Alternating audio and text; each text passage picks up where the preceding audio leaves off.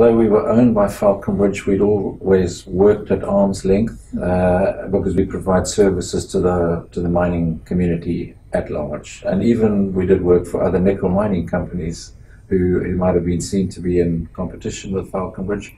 They were quite happy for us to work uh, for them. So it was a very unique relationship for a, for a company that was was owned by a mining company that allowed us to, to work in that way. So changing to a private company never changed that client base in any way. We, we continued to work with them.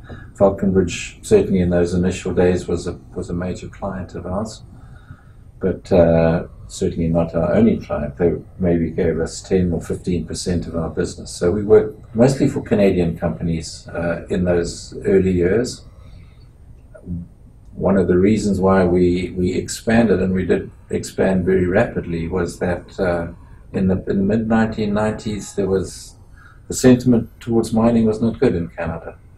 Um, there were, I think, the government in BC was, was very anti-mining, and even Ontario was not very favourable. So up until then, a lot of our business had been coming from Canadian companies, and we were we felt vulnerable.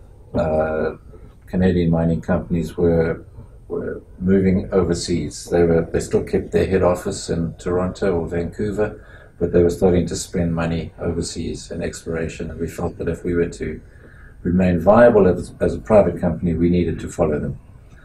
So uh, in the only six or seven years that we were a private company, we grew very rapidly uh, geographically. We, we started up laboratories uh, in all the major mining companies of the world.